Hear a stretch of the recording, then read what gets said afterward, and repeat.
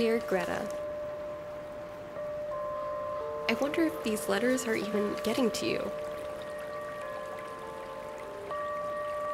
I haven't heard from you in a while now. I haven't heard from anyone.